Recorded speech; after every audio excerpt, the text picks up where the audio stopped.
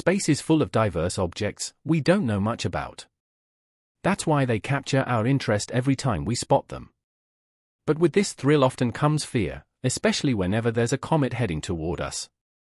It's no surprise we haven't got a clue on how to stop an asteroid or comet from hitting the planet. But soon, having such technology might become vital. Now scientists operating one of the most advanced astrocameras have just made an eye-opening finding. They detected a monster comet that is already in our solar system, and it's moving fast. The discovery. In August of 2013, scientists launched a project to map a portion of the southern sky, which completed in 2019. It's called the Dark Energy Survey. An incredible 570 megapixel camera, called the Dark Energy Camera, grabbed data from over 300 million galaxies amounting to 50 million megabytes. Scientists have just begun to go over that data, and they found something that they didn't expect. Data created 32 images showing a blurry dot in the darkness of space, located about 2.5 billion miles, 4 billion kilometers, away from Earth.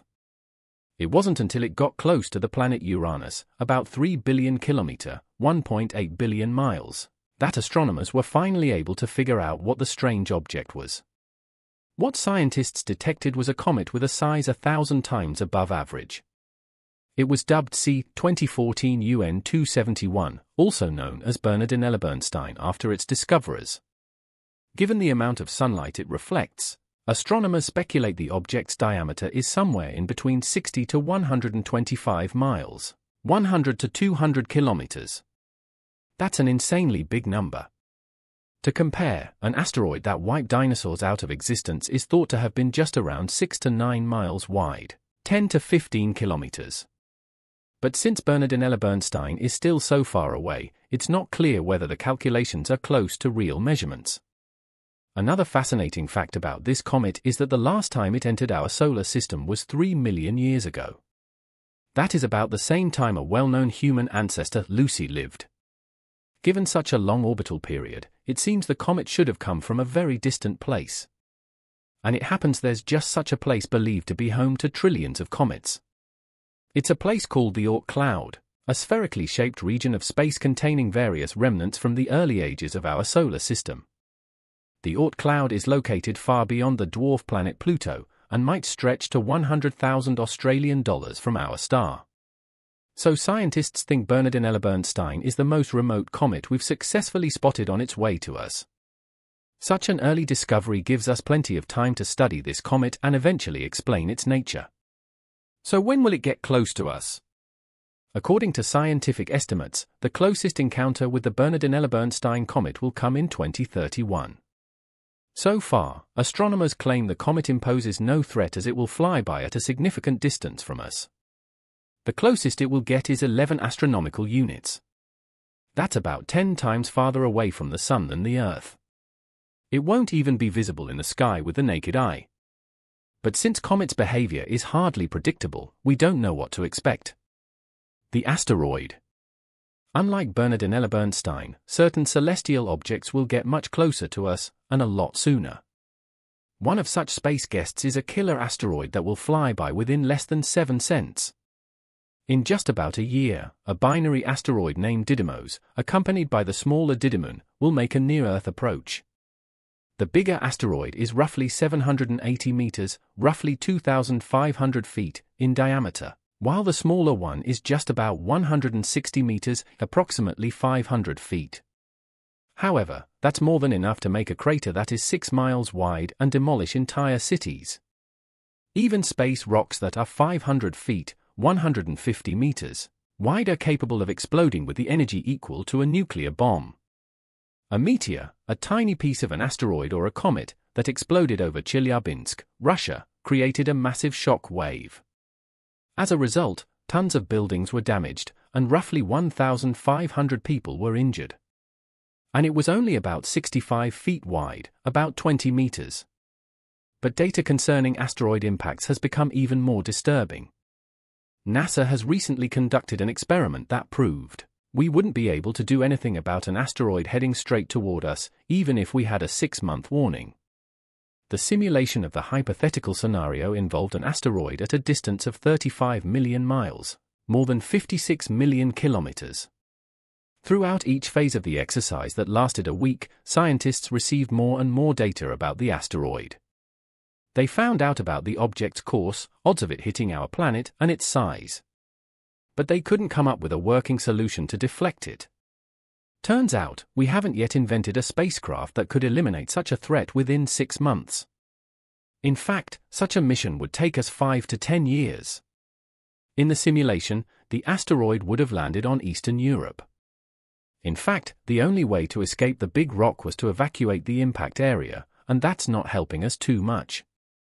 But as we know, some things that don't work out in theory can show good results in practice.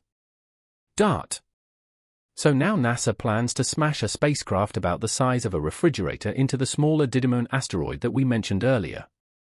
The mission is called Double Asteroid Redirection Test or DART. The idea is to take the half-ton spacecraft and crash it into Didymos at around 4 miles per second, 6.6 kilometers per second. The launch will take place sometime between November 24, 2021, and February 15, 2022. However, the collision should happen between September and October 2022. This is going to be the very first test using the kinetic impactor technique to alter an asteroid's trajectory and speed, and will be a kind of military training in terms of space. Now, Didymos doesn't threaten Earth yet. But NASA's database contains more than 2,000 potentially hazardous asteroids. That can get as close to us as 0.05 astronomical units, around 7.5 million kilometers or 4.6 million miles. Asteroids and comets are often hard to detect, even with the most advanced technology. But at times, people equipped with homemade telescopes make huge discoveries. Just two years ago, an amateur astronomer named Gennady Borisov stumbled across a celestial object with a peculiar trajectory. Turns out, he found a comet and not an ordinary one either. It was later discovered by scientists that 2I Borisov is a rogue comet. This is because this type of a comet has no steady orbit, and will freely float through space until affected by another celestial object as astronomers continued to study. 2I Borisov, they used NASA's Hubble Space Telescope and Atacama Large Millimeter Array, ALMA, to figure out the comet's extraordinary composition. It had an abundance of carbon monoxide they didn't expect to see. And knowing about this high concentration of CO, scientists can make assumptions about its origin. So far, astronomers have come to the conclusion it should have been created in a place overflowing with CO ice. Such an abundance of CO ice is only present in space regions with a temperature below minus 420 degrees Fahrenheit, minus 250 degrees Celsius. There are two theories about how the comet formed. It could have been born around a red dwarf, a relatively small star with a low surface temperature. Otherwise, it could be a tiny fragment of a dwarf planet. This has become the first comet that entered our solar system from a place outside of our star's influence. But this is not the only thing that captured astronomers' attention. When approaching a star, a comet's particles start to melt and generate a fuzzy cloud around its nucleus. This cloud is called a coma. So what scientists noticed was a unique polarization in Borisov's dust grains. Now, polarization is the direction light waves ripple in space. The higher the polarization, the more focused the light is in a single direction. That's exactly what 2I Borisov's coma demonstrated. In the scientific community, this was a big deal. Similar to the way our skin reacts to direct sunlight, the more a comet interacts with a star, the bigger the impact on its materials. Eventually, the polarization of the comet's coma gets reduced. But what we see with Borisov's comet is quite the opposite. This can only mean one thing, it has rarely or never bathed in a star's light, radiation, or winds.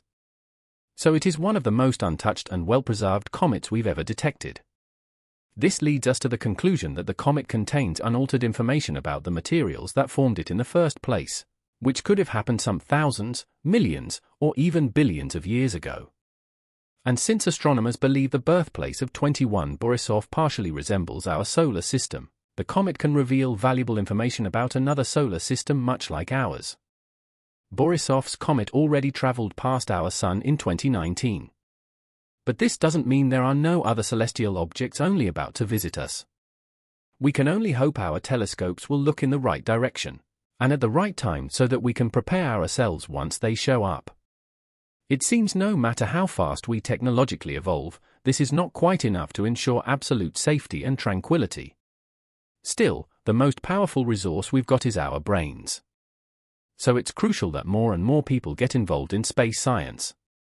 To stay up to date about other amazing things happening in our universe, make sure to stay tuned here. Thanks for watching.